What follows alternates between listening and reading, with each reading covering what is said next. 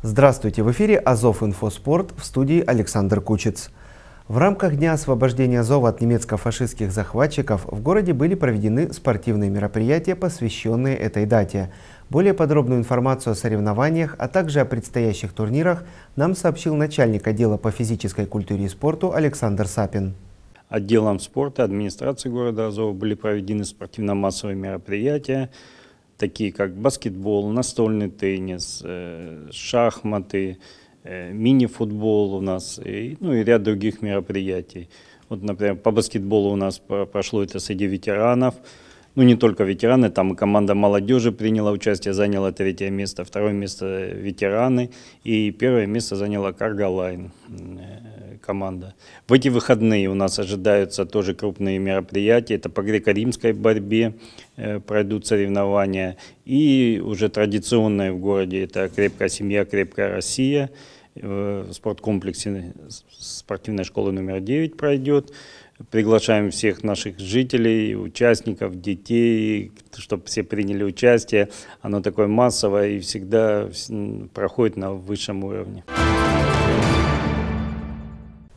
8 и 9 февраля в Ростове-на-Дону прошел открытый областной турнир по киокусинкай среди спортсменов от 6 до 17 лет.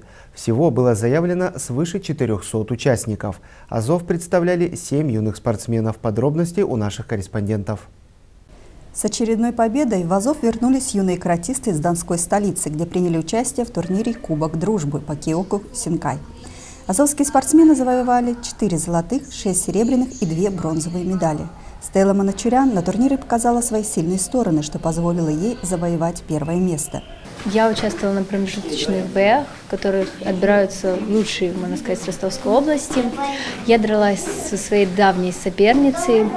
Первый бой я и проиграла, но я тогда недолго занималась, она достаточно долго занимается. Второй бой я выиграла, но и выиграла его нам давали, короче, дополнительное время и перебой потом. А в этот раз я выиграла в чистую. У меня ну, удалось закончить бой досрочно за 40 секунд. Полина Борскова заняла второе место. По словам спортсменки, первый бой она провела удачно. Во втором пришлось понервничать. Я провела два боя, и я очень довольна результатами. Второй был очень тяжелый и напряжный. Первое время было две с половиной минуты. Судьи показали ничью. Далее был бой две минуты. Судьи опять показали ничью. Было взвешивание. Весили мы с соперницей приблизительно одинаково, поэтому нужно было драться еще дополнительную минуту. Судя по всему, моя соперница была чуть-чуть четче и техничней, поэтому победу отдали ей. Но я считаю, что я отлично дралась. Сейчас юные каратисты готовятся к трехдневному турниру, который пройдет в 20-х числах февраля в Москве. Ивана Пажельцева, Алексей Покатила, Азовинфо Спорт. В шахматном клубе «Ладья» завершился городской чемпионат среди взрослых, где за звание сильнейшего боролись 12 спортсменов. Подробности у наших корреспондентов. Первый чемпионат города Азова по шахматам состоялся в 1938 году. Во время войны турнир не проводился. Его возобновление произошло лишь в послевоенные годы. В нынешнем 2020 во взрослом турнире приняли участие и подростки, которые соревновались на равных с лидерами чемпионата. В этом соревновании принимает участие три лучших шахматиста прошлого года, то есть чемпионы, призеры. Э, три лучших школьника. Школьники у нас не просто школьники, они чемпионы области в своих, в своих категориях. Вот. Два молодых кандидата мастера, но они уже студенты. Так что состав в этом году собрался очень интересный. Это, э, украшает его участие 7- или 8-кратного чемпиона города Азова Александра Барсукова который не играл последние два года. Соперником Александра выступил мастер ФИДЕ Иван Кисляков, который после четырехчасовой партии уступил по набранным очкам. По итогам соревнований определились следующие победители.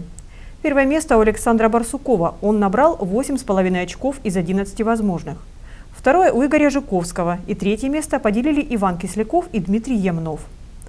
В турнире также приняла участие и трехкратная чемпионка области Виктория Резниченко – девушке удалось выполнить норматив кандидата в мастера спорта. Я принимаю участие в чемпионате города, э, набрала 6 очков, э, сыграла в ничью со многими лидерами турнира, э, выполнила норму кандидата мастера. А моя цель – стать мастером спорта. А для этого мне нужно также принимать э, участие во многих турнирах, такие как также области, ЮФО. Также я хочу еще раз поехать на чемпионат России. Сейчас юные шахматисты готовятся к очередным соревнованиям, которые пройдут в начале марта в Донской столице. А также спортсмены примут участие в розыгрыше Кубка России в Волгограде. Екатерина Четверякова, Ивана Пажельцева, Александр Кучец, Азов Инфоспорт. С 30 января по 1 февраля воспитанники спортивной школы номер 2 в составе сборной команды Ростовской области по легкой атлетике впервые приняли участие в первенстве России среди юношей и девушек до 18 лет, которое состоялось в Республике Чувашии, городе Новочебоксарске. Роман Лубенец в прыжках в высоту занял пятое место, впервые выполнив норматив кандидата в мастера спорта. Дарья Береснева завоевала десятое место, подтвердив уровень кандидата в мастера спорта. Несмотря на скромные результаты, Федерация легкой атлетики Ростовской области отметила высокий уровень подготовки наших спортсменов. Спортивной школе номер 9 прошла товарищеская встреча по рэгболу с пятикратными чемпионами России ростовской командой «Русские медведи». Цель мероприятия – популяризация данного спорта в Донском регионе. Подробности в следующем сюжете. Когда-то рэгбол был разминкой борцов, но со временем стал самостоятельным видом спорта, который представляет собой сочетание баскетбола и элементов борьбы. Капитан клуба «Русские медведи» Владимир Галкин совместно с азовскими спортсменами стремится привлечь как можно больше молодежи к этому направлению в спорте. Первый чемпионат области проводился в этом зале, в котором мы сегодня будем играть. И было очень много хороших, сильных ребят, которые потом участвовали на чемпионатах России. А, сейчас мы хотим э, привлекать молодежь, э, потому что наш вид спорта регбол развивается как отдельный вид спорта уже. А, мы сейчас э, на стадии заключения уже аккредитации нашего вида спорта. Поэтому э, хотим привлекать молодежь и ездим э, по городам нашей области, привлекаем молодежь играть в регбол.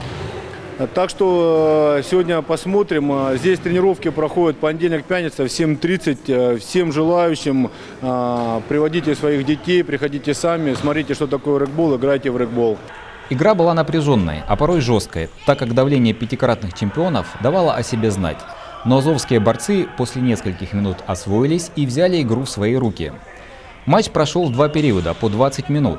Счет товарищеской встречи 25-5 в пользу гостей. Я немножко далек от этого спорта, но я организовывать и буду такие дальше праздники для людей, для нашей молодежи.